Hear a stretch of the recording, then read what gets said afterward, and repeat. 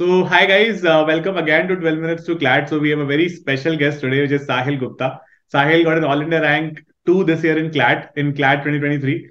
Congratulations, Sahil, and welcome to 12 Minutes to CLAT. And I think uh, साहिल ने कई बार पहले भी अलग अलग जगहों पर डिस्कस किया that he was a follower of 12 minutes to CLAT as well and it's a privilege Sahil to have you on board here and discuss with you the strategy and the skills that you implied in this particular exam to be able to do so well. तो first of all मैं thank you sir for having me यार तो मैं आपको congratulate कर रहा हूँ बहुत ज़्यादा यहाँ पर बिकॉज़ साहिल मतलब मैंने आप थिंक आई थिंक पहले भी आपसे एक बार डिस्कस किया था कि when somebody prepares for CLAT generally ये बोला जाता है आई थिंक टीचर्स को भी कुछ एक्सटेंड तक ये लगने लग गया था कि यहाँ पर बहुत अच्छा इंग्लिश वाले बच्चे ही पेपर को क्लियर करेंगे। बट आपने मतलब ये दिखाया है कि अगर आप में मतलब थोड़ा डेडिकेशन है और आपको मतलब सही चीज़ें करनी आती हैं आपको ये पता चल गया कि क्या सही चीज़ें करनी है then getting an all India rank two is an outstanding achievement for someone like Sahil, who really worked hard to make sure कि मतलब उस एग्ज़ाम को प्रॉपरली समझ पाए और क्या क्या एग्ज़ाम के रिक्वायरमेंट्स है उसके हिसाब से काम कर पाए। तो साहिल मैं आपसे ना कुछ बहुत ही बेसिक क्वेश्चन पूछूँगा जो स्टूडेंट्स को जनरली होते हैं, जिससे वो स्ट्रगल कर रहे होते हैं और हम आप, हम समझेंगे कि आपने उसके सोल्यूशन कैसे ढूंढे थे। तो साहिल मेरा पहला क्वेश्चन ये रहेगा कि जब आपने क्लैट की प्रिपरेशन शुरू करी थी आपने एक बार पहले भी क्लैट दिया था जिसमें आप बता रहे थे कि आपका कुछ forty four hundred something rank था। तो वहाँ से छह महीने बाद ऑल इंडिया रैंक टू ले आना। अब जैसे एक तो मतलब एक तो ज़मीन आसमान का फ़र्क हो गया एकदम की मतलब पहले कहाँ थे कि एक भी कॉलेज ना मिलता और अब तो मतलब सारे कॉलेजेस आप जो चाहोगे वहाँ पर आप जा सकते हो। सो so, क्या वो रीडिंग स्पीड जिसको हम जल्दी नहीं बोलते हैं कि थोड़ी दिक्कत होती है लोगों को पैसेज को इंटरप्रेट करने में दिक्कत होती है आपने कैसे काम किया उन पर्टिकुलर पॉइंट्स पर? और हम जनरली मतलब आप क्लैट में हंड्रेड मार्क्स रीडिंग के होते हैं एक्चुअल में। आपको रीड करना है और टाइम वाइज रीडिंग करनी है। ऐसा नहीं है कि सिर्फ़ रीड करके समझना है, उसको टाइमली रीड भी करना है और फिर क्वेश्चन भी सॉल्व करने हैं। तो रीडिंग स्पीड तो बहुत इंपॉर्टेंट होती है तो रीडिंग स्पीड के लिए मतलब मैंने एक तो न्यूज़पेपर में सारे तरीके के आर्टिकल्स पढ़ना शुरू कर दिया पहले मैं सिलेक्टेड आर्टिकल्स पढ़ता था जो मेरे इंटरेस्ट में थे, है ना? उसके बाद मैंने फिर इकोनॉमिक्स के आर्टिकल्स में उससे पहले नहीं पढ़ता था तो फिर मैंने इकोनॉमिक्स के आर्टिकल भी थोड़े से पढ़ने शुरू किए कि फिर थोड़े से मतलब और मतलब जो वो होते हैं, लोग अपने एडिटोरियल्स लिखते हैं, वो भी पढ़ना शुरू किए। तो उससे उन्हें पहले तो मैं नॉर्मल रीड करता था कि उसको नॉर्मल रीड कर लू, कितना टाइम लगता है, देख लू क्लॉक से कि कितना टाइम मुझे इतने वर्ष पढ़ने में अंदाजे से लग गया। फिर मैंने उसे क्लॉक करना शुरू कर दिया कि अब मुझे ये वाला आर्टिकल मतलब अराउंड में जब ये वन मंथ होगी प्रोफेशन कि, अब मुझे ये आर्टिकल इतने वर्ड इतने मिनट में कंप्लीट कर देना है और पूरा समझना भी है, सिर्फ़ कंप्लीट नहीं करना रीड करके समझना भी है। तो दैट वॉज़ उनकी स्टार्टिंग में मैं थोड़ा मतलब सेक्शनल देता था एज कंपेयर टू मॉक्स तो मॉक्स तो मैं ज़्यादा ही देता था, लेकिन उसके अलावा स्टार्टिंग में मेरे सेक्शनल्स की और मॉक्स की मतलब इक्वल रहता था वेटेज धीरे धीरे धीरे मॉक्स का वेटेज बढ़ाता गया मतलब अपनी प्रिपरेशन में। और सेक्शनल का कम करता गया जैसे जैसे स्पीड इंक्रीज होती है। क्योंकि आई थिंक सेक्शनल आपकी एक हद तक ही स्पीड इंक्रीज कर पाएँगे। वो क्योंकि उसमें एक तो आप टाइम ज़्यादा ले सकते हो सेक्शनल में इजिली कोई आपको दोबारा उसके बाद दूसरा सेक्शन नहीं करना। मॉक्स में आपको टाइम वेस्ट करना पूरा की उसके बाद भी एक और लगातार सेक्शन करने हैं। तो इसलिए मैं वॉक को ज़्यादा वेटेज देता हूँ एज कंपेयर टू सेक्शनल अगर आपने एक या दो मंथ की प्रिपरेशन कर लिया उसके बाद। क्योंकि मॉक्स आपको, एक तो आपके जो बायोलॉजिकल क्लॉक होती है ना उसको भी वाइडन करते हैं फॉर द एग्ज़ाम कि आपको इतने ही टाइम में ये पैसेज कंप्लीट करके करना है। अगर नहीं हो पाएगा तो आपको फिर आगे बढ़ जाना है है ना? अगर आपको लगता है कि ये पैसेज बड़ा है या फिर डिफ़िकल्ट टू अंडरस्टैंड है तो फिर आपको वो आगे भी मतलब आपको ये भी आना चाहिए कि आपको क्वेश्चन छोड़ने कौन से हैं। अगर आप मतलब अगर आगे आप मतलब प्रिपरेशन में जैसे जैसे बढ़ते जाओगे वैसे वैसे ऐसे पैसेज कम होते जाएँगे कि जो आपको छोड़ने की ज़रूरत पड़े। बट स्टार्टिंग में तो ऐसे पैसेज होते हैं तो उस टाइम पे तो आपको बिल्कुल ध्यान रखना पड़ता है कि आपको कौन सा पैसेज छोड़ देना है। जो आपको पता है कि आपको मॉक के टाइम पे समझ नहीं आएगा आपके इंटरेस्ट का नहीं है या फिर बहुत लेंदी आप इतने टाइम में इसे कंप्लीट नहीं कर पाओगे। तो ये सब चीज़ें मतलब ऐसे छोटे छोटे स्मार्ट डिसीज़न लेते रहने होते हैं मॉक्स के टाइम पे तो वो भी आपको बताते हैं। तो these things helps in when you try to you know इनकी जो स्पीड स्पीडिंग आई थिंक और उसकी काफ़ी मेरे को इंपॉर्टेंट बात लगी आपकी कि जैसे हम लोग कई बार क्या सोचते हैं that too emotional taking a particular section जैसे आपको लगे, लग रहा है कि आपका इंग्लिश अच्छा है तो आप इंग्लिश को फिर करके ही छोड़ोगे, चाहे उसमें आपको तीस मिनट लगे या चालीस मिनट लगे। ये थोड़ी गलती हो जाती है स्टूडेंट से। जैसे आपने बहुत इंपॉर्टेंट बात बोली कि अगर आपको लग रहा है कि क्वेश्चन मुश्किल है या डिफ़िकल्ट है या फिर थोड़ा बड़ा है तो उसको एक बार छोड़ दो। मतलब move on to the next question because her question आपको इक्वली मार्क्स दे रहा है। तो जितने बटोर सकते हो, उतने नंबर बटोर लो। मतलब आई थिंक ये बहुत ज़्यादा एक इंपॉर्टेंट पॉइंट है। तो साहिल स्टार्टिंग में मेरे को आपने बताया था कि जब आपने पहला वाला क्लैट दिया था तो उसमें आपको लीगल करने की कोशिश की थी जो आपने थोड़ा ठीक ठाक कर भी लिया था बट उसमें आपको एक घंटे से ज़्यादा लगा था करने में बिकॉज़ रीडिंग स्पीड तो हमेशा से प्रॉब्लम था ही था। Yes, तो reading speed I think newspaper was the major source जिससे आपका इम्प्रूव होता गया। यस सर न्यूज़पेपर रीडिंग से मतलब न्यूज़पेपर रीडिंग आपको करंट अफेयर्स में मेरे ख्याल से उतना हेल्प नहीं करती है। करंट अफेयर्स के लिए आप कंपेरियम कर सकते हो क्लासेस कर सकते हो। बट न्यूज़पेपर रीडिंग आपकी रीडिंग स्पीड और इंटरेस्ट डेवलप करने में ज़्यादा हेल्प करती है। आपको नई नई चीज़ों में इंटरेस्ट डेवलप करने में। जैसे किसी का अभी हो सकता है साइंटिफिक डिस्कवरीज में इंटरेस्ट ना हो, लेकिन वो एक बार न्यूज़पेपर में पढ़ना शुरू करे कि ये नई चीज़ें डिस्कवर हुई है तो हो सकता है उसका नया इंटरेस्ट डेवलप हो जाए, क्योंकि उसने उससे पहले कभी ट्राई नहीं किया था साइंटिफिक डिस्कवरीज के बारे में पढ़ने में। या फिर किसी को इकोनॉमिक के पैसेज कभी किसी ने पढ़ने की कोशिश नहीं की, कोई साइंस या आर्ट्स बैकग्राउंड से तो उसने इकोनॉमिक के पैसेज कभी पढ़ने की कोशिश ही नहीं की और उसने इकोनॉमिक पैसेज पढ़ना शुरू किया तो हो सकता है उसमें उसका इंटरेस्ट डेवलप हो जाए कि इकोनॉमिक पॉलिसीज़ कैसी चल रही हैं। तो newspaper reading really helps more in reading sections as compare to current affair sections तो साहिल फिर करंट अफेयर्स के लिए आपने क्या किया अलग से? अगर करंट अफेयर्स में फिर आपने क्या सोर्सेज और क्या क्लासेस वगैरह रेफर लाइक करंट अफेयर्स के लिए मेरे सोर्सेस रहते थे क्लासेस एंड वन मतलब वन मंथली में एक या दो बार एक बार रीड कर लेना कंपेंडियम क्योंकि मेरे से कौन से टॉपिक छूट गए हैं करने के लिए। कंपेंडियम में इसलिए रीड नहीं करता था कि रिवीजन हो जाए या फिर कुछ हो जाए। बस वो चेक करने के लिए कि मेरे से इस मंथ कौन से टॉपिक्स छूट गए। क्योंकि एक ही चीज़ को आप बार बार रीड करके कुछ नहीं करोगे। आप जिस क्लासेस से आपने जो नोट्स बनाए हैं, उन्हीं को दोबारा रीड करना ज़्यादा बेटर है, जिससे वो आपको बिल्कुल माइंड में कॉन्क्रीट हो जाए वो सारी डेट्स ईयर्स नेम्स जो आपने लिखे हुए हैं। एज कंपेयर टू उन्हें बार बार किसी अलग अलग सोर्स से पढ़ना। तो मैंने लिमिटेड सोर्सेस इस्तेमाल किए थे क्लासेस कंपेंडियम्स और दो website GK today and affairs club Okay, so I, I think for the viewers, uh, Sahil was a very, uh, you could say, frequent, in fact, a daily visitor of my 5 p.m. classes for current affairs and the 9:15 classes also. तो वहाँ पर काफ़ी ज़्यादा साहिल ने quizzes और सारी classes की है plus I think Sahil you were there in the 6:30 legal class also every day right जब भी yes sir I was always take legal classes I never missed any तो मतलब मैं थोड़ा सा क्रेडिट ले रहा हूँ यहाँ पर ठीक है कि मतलब मैं आपको काफ़ी सारा करंट अफेयर और लीगल रीजनिंग पढ़ाया है यहाँ पे। And that was very I think useful also generally जो आपकी प्रिपरेशन में आपको हेल्प किया होगा। यस सर इट हेल्प मतलब लीगल में अगर आपको कॉन्सेप्ट पहले पता है तो वो आपको इजीली आपके 15 मिनट्स से ज़्यादा बचा लेते हैं। लाइक इस बार भी जो लीगल आया था वो सारा करंट अफेयर्स का लीगल था। आई बिलीव कोई भी हार्डली एनी क्या कहते हैं जो मतलब जो बेसिक होते हैं टॉर्च वॉर्ट्स उनसे तो कुछ नहीं आया था इस बार। सारा करंट अफेयर के लिए। और वो करंट अफेयर क्लासेस में कवर्ड था सारा लाइक कंज्यूमर प्रोटेक्शन का था। Right. और उसके अलावा भी जो थे वो सब करंट अफेयर क्लासेस में कवर्ड थे। तो मेरे को मतलब ऐसा नहीं था कि एक पढ़ लिया पैराग्राफ तो दोबारा उस पर जाने की ज़रूरत पड़ी। ऐसा नहीं हुआ ना क्योंकि पहले से पढ़ा हुआ था। दीस आर मतलब वहाँ पे एक तरह से था कि रिवीजन हो गया एक तरह से कि एकदम से माइंड में वापस रिकॉल हो जाती ना चीज़ें जैसे आप पढ़ते हो। कि हाँ ये तो मैं पढ़ चुका हूँ तो जल्दी जल्दी आगे बढ़ जाते हैं। तो लीगल में अगर आपने पहले पहले से पढ़ा हो तो अराउंड फिफ्टीन मिनट्स बच जाते हैं। हाँ क्योंकि आई थिंक ये बहुत इंपॉर्टेंट है। क्योंकि अब क्या होता है कि जैसे 2020 में भी ऐसा हुआ था और 2023 में भी ऐसा हो गया कि करंट लीगल के बहुत सारे क्वेश्चन आते हैं मतलब लीगल रीजनिंग में। तो वो सेम ही एजुकेटर से अगर आपने लीगल और करंट पढ़ा है तो आई थिंक वो बहुत हेल्प करता है बिकॉज़ वो दोनों का काफ़ी आप को रिलेशन बना पाते हो। बिकॉज़ जो स्टैटिक क्वेश्चन आएँगे वो तो आप कर ही लोगे बिकॉज़ उतना तो पढ़ाया जा ही रहा है क्लास में।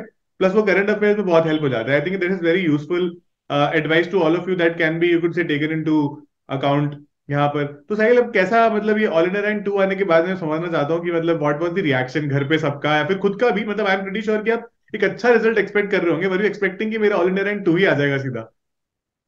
मतलब जब मैंने अपने मार्क्स कैलकुलेट कर लेते, उसके बाद I was expecting a double digit rank around something thirty और ट्वेंटी टू थर्टी के बीच में, क्योंकि लास्ट ईयर कट ऑफ़ बहुत आए थे। हाँ. है ना और उस कट ऑफ़ हर साल इंक्रीज हो रहे थे। मेरे को लगा मतलब थोड़ा सा एंड क्राई था कि इस बार का पेपर टफ है बट मुझे लगा हो सकता है इस बार भी कट ऑफ़ बढ़े क्योंकि कट ऑफ़ ट्वेंटी ट्वेंटी से हर साल ही इंक्रीज हुआ था डिक्रीज नहीं हुआ था बिल्कुल भी। तो मैं इसलिए एक्सपेक्ट कर रहा था कि ट्वेंटी टू थर्टी के बीच में कुछ रैंक आएगी। And A I R two was never expected कि ए आई आर टू आ जाएगी। मतलब मतलब प्रिपरेशन के भी टाइम पे मैं करता था कि एनएलएस मिल जाए मोस्ट प्रोबेबली वरना टॉप टीयर वन एनएलयू तो मतलब बिल्कुल मेन फोकस रहता था कि top tier one NLU marks आए है ना? हंड्रेड प्लस आए। मॉक्स हाँ में भी फोकस रहता था कि हंड्रेड प्लस आए। कभी फोकस ये नहीं रहता था कि वन हंड्रेड टेन प्लस करना है वन हंड्रेड टेन क्रॉस करना है। टॉप टीयर वन एनएलयू का हमेशा फोकस रहता था। और मतलब मुझे लगा कि वो प्रिपरेशन में एक हेल्प भी करते हैं अगर आप अपने आप को बिल्कुल ऐसे बाउंड कर लोगे कि मुझे एनएलएस ही जाना है या मुझे नालसा तक ही जाना है तो फिर वो आप क्या जैसे आपके मार्क्स मार्क्स गिरेंगे क्योंकि सबके गिरते हैं के हाँ टाइम पे तो आप उस टाइम पे बिल्कुल और हो सकता है कि आप उसको फिर और नेगेटिवली ले लो। लेकिन अगर आप ये ये बड़ा पुल रखोगे कि अपने कॉलेजेस का कि मुझे इतने कॉलेजेस का ट्राई करना है तो फिर वो आपको हेल्प करेगा कि अगर अभी बस ये कॉलेज से यहाँ तक स्लाइड हुए वापस यहाँ से ऊपर वाले कॉलेज तक स्लाइड हो जाएँगे और। आई थिंक ये बहुत इंपॉर्टेंट बात है साहिल मतलब ये बहुत ही आपने आसानी से बोल दी है। बट ये ना, ये मतलब मुझे भी बहुत ज़्यादा लगता है कि ये ऑब्सेशन विद एनएलएस वाला जो प्रॉब्लम है ना बहुत सारे स्टूडेंट्स के साथ, वो उनको ले डूबता है मॉक टेस्ट में भी और कई बार एक्चुअल एग्ज़ाम में भी। क्योंकि उनको एक पॉइंट के बाद समझ में आता है, अपने एग्ज़ाम देखे कि यहाँ पर शायद एनएलएस नहीं मिलेगा और वो पूरा कॉन्फिडेंस ही वहाँ पर लूज कर देते हैं। ये बहुत ही इंपॉर्टेंट बात है। तो साहिल मतलब आप ना काफ़ी सारी चीज़ें आगे जो क्लैट जर्नी होने वाली है ना स्टूडेंट्स की, उसके लिए चेंज कर रहे हो। मतलब आपको पता नहीं है कि आप कर रहे हो बट आप जेनुअनली कर रहे हो। व्हेन पीपल हियर यू कई बार क्या होता है ना, मैंने जैसे काफ़ी सारे टॉपर्स के इंटरव्यू लिया to be very honest but मेरे को ना ऐसे मतलब जैसे स्टूडेंट्स वाली जो वाइब आनी चाहिए ना, जो मेजोरिटी ऑफ़ द स्टूडेंट्स को कि यार हम भी ऐसे ही हैं और हम ऐसे बन सकते हैं तो आपसे बिल्कुल वैसी वाली वाइब आती है कि यार मतलब कोई बंदा है जिसने मेहनत करी है, एक पॉइंट से खड़ा होके and that person did not have a clear advantage कि भाई बहुत ही बेस्ट स्कूल में गया था और बहुत ही एकदम फ्लुएंट इंग्लिश बोलता था या बोलता है, वो सब एडवांटेज नहीं है आपको। तो आई थिंक ये एक बहुत ही अच्छी बात है कि आपने यहाँ पर एक मिथ को बहुत ही खत्म किया है कि अच्छे बच्चे नहीं, यहाँ पर आपको मेहनती और कंसिस्टेंट बच्चे होना ज़रूरी है और सही चीज़ें करना ज़रूरी है। साहिल, मैं एक आपसे दो क्वेश्चन और पूछूँगा बस बिफोर एंडिंग दिस इंटरव्यू कई बार ना जैसे हमारा स्कूलिंग सिस्टम जनरली ऐसा है कि पहले आप सिलेबस खत्म कर लो, उसके बाद में एग्ज़ाम करो। लेकिन आपने इंटरव्यू की स्टार्टिंग में ही बोला कि आपने शुरू से सेक्शनल टेस्ट और मॉक टेस्ट करने शुरू कर दिए थे अपनी प्रिपरेशन में। तो I would like you to tell the student as to what is the importance of doing sectionals and mock tests earlier in the preparation rather than leaving it for the end. I think मतलब CLAT का जब मैंने syllabus देखा था कि CLAT में syllabus क्या है तो इंग्लिश में और लॉजिकल में कोई सिलेबस नहीं होता है रियली बस आपको कुछ टर्म्स अंडरस्टैंड करने हैं उनमें. बस इंग्लिश में आपको थोड़ा सा मतलब आपको कहते हैं टोन ऑफ़ द पैसेज या ये सब चीज़ें अंडरस्टैंड करनी है और लॉजिकल में की कंक्लूजन क्या है इन्फ्लुएंस क्या है. उसके अलावा उनमें तो कोई सिलेबस है ही नहीं आई थिंक क्वांट पे थोड़ा सा सिलेबस है बट वो सिलेबस हम बचपन से कवर करते हुए आ रहे थे एट्थ में नाइन्थ में टेंथ में। और लीगली एक ऐसी चीज़ है आई थिंक जो एक सिलेबस बाउंड चीज़ है। और करंट अफेयर्स तो आप चाहे किसी भी चीज़ के लिए करो करंट अफेयर्स उसको आप सिलेबस में बाउंड कर ही नहीं सकते। आप तो लास्ट डे तक करंट अफेयर्स पढ़ते ही रह जाओगे जब आप प्रिपरेशन करोगे तो उसके लिए तो है नहीं। तो सिलेबस बात तो ये एकदम है ही नहीं बिल्कुल। तो इसलिए उस टाइम पे आप एक दिन में अगर आप अपने लीगल का सिलेबस कम, एक महीने में कंप्लीट करके खत्म कर देते हो, है ना? तो उससे क्या फ़ायदा है? एक में आपको बार बार उसे रिवाइज करते रहना पड़ेगा। इससे अच्छा आप अपने लीगल के सिलेबस को धीरे धीरे आगे बढ़ाते रहो। एक बार लॉजिकल और इंग्लिश के टर्म्स शुरू कर दो, उसके बाद प्रैक्टिस शुरू करनी है। अब प्रैक्टिस के लिए आई थिंक किसी भी कोचिंग के स्टडी मटेरियल से ज़्यादा प्रैक्टिस अच्छी सेक्शनल और मॉक्स होते हैं। क्योंकि सेक्शनल और मॉक्स में उसके बाद वो एक्सप्लेनेशन भी अच्छी देते हैं एज कंपेयर टू किसी स्टडी मटेरियल वेरी इंपॉर्टेंट और एक, वो एक हमारा माइंडसेट होता है रिवॉर्ड माइंडसेट मैंने मतलब एक उस टाइम पे बुक पढ़ी थी एटॉमिक हैबिट्स तो उसमें एक पॉइंट था कि हमारा माइंडसेट होता है रिवॉर्ड माइंडसेट तो सेक्शनल में और क्या कहते हैं, हमारे मॉक्स में, जो स्कोर होते हैं, वो हमारा रिवॉर्ड होता है. अगर स्कोर इंक्रीज होता है तो हमारा और इंटेंसिव बनता है कि हम और अच्छे से प्रिपेयर करें, हमारा स्कोर इंक्रीज होता है. तो इसलिए मतलब मैं सेक्शनल मॉक्स को ज़्यादा अच्छा मानता हूँ टू प्रैक्टिस मतलब आप प्रैक्टिस तो स्टडी मटेरियल से भी कर सकते हो बट सेक्शनल और मॉक्स में आपको मार्क्स मिलते हैं। आप उन मार्क्स को किसी से कंपेयर भी कर सकते हो। उन मार्क्स के बेस पे आप आगे अपने सेक्शन भी सोच सकते हो कि अगले वाले में मुझे इतने मार्क्स इंक्रीज करने हैं। आप ऐसे स्टडी मटेरियल में नहीं कर सकते तो सेक्शनल और मार्क्स इसलिए ज़्यादा इंपॉर्टेंट होते हैं as compare to comparing covering your syllabus और doing any study material I think बहुत ज़्यादा इंपॉर्टेंट पॉइंट है साहिल ये। तो मैं ऐसे एकदम वो कपिल शर्मा टाइप क्वेश्चन पूछूँगा कि आपने मतलब एकदम वो फोर्टी फोर हंड्रेड रैंक से जहाँ पे आपने सोचा था कि यार मतलब पता नहीं क्या ही होगा। आप आप से मुझे बता रहे थे कि आप साइंस मैथ स्टूडेंट हो और no I you had no idea कि आप आगे जाकर क्लैट करोगे। मतलब साइंस मैथ्स वालों से उम्मीद रहती है कि शायद वो आईआईटी या नीट की तैयारी कर लेंगे। मैथ्स वाले तो नहीं करते नीट की तैयारी बट आईआईटी जनरली एक कॉमन ऑप्शन होता है। आई एम श्योर आपकी क्लास के ज़्यादातर बच्चे उसी तरफ़ गए होंगे।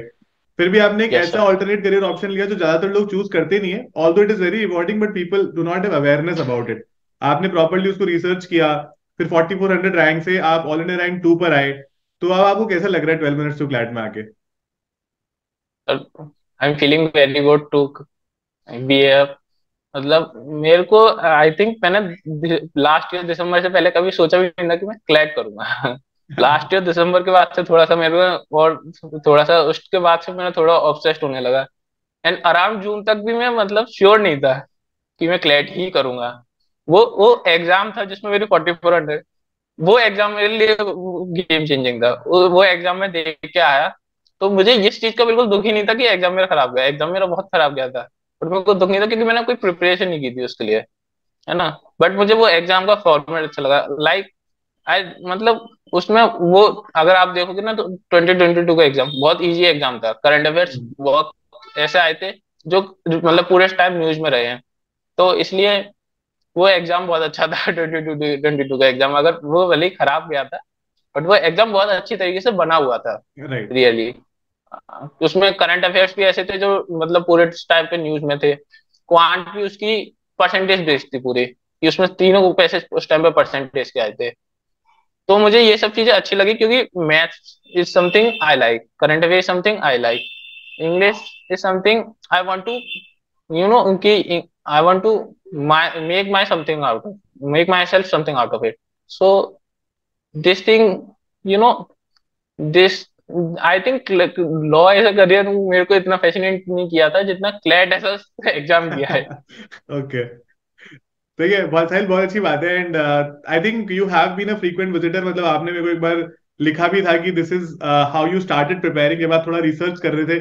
तो आपने काफ़ी सारे ट्वेल्व मिनट्स टू क्लैट के वीडियोस देखे टू अंडरस्टैंड कि यार ये एग्ज़ाम क्या है किस तरह से इसको पढ़ते हैं क्या होता है। और करंट अफेयर आपका हमेशा से एक स्ट्रॉन्ग सूट रहा है।